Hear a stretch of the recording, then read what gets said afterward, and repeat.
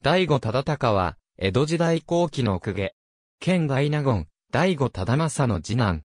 官位は、受三味。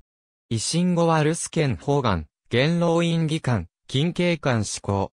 御用勢天皇の男系八世島後である。晩年の忠敬母神戦争の際には、大内部副総督として各地を転戦。この功により、衛星商天禄600国を可視され、受三味に除された。明治期には留守県方眼、元老院議官を歴任した。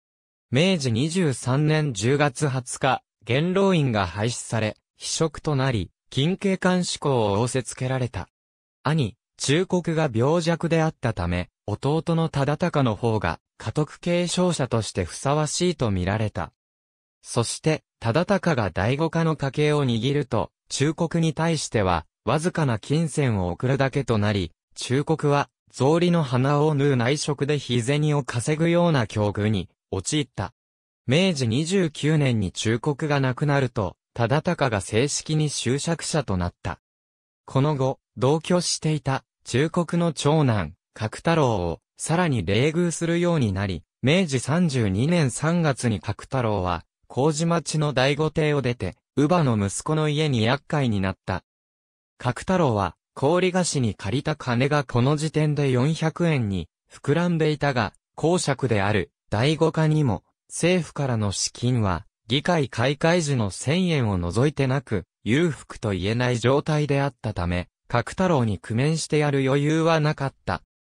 同年5月23日午後7時、父、忠政の邸宅で、忠敬が、四条竜兵と談笑していた際、侵入した角太郎に頭部と頸部を拳銃で一発ずつ、撃たれて死亡した。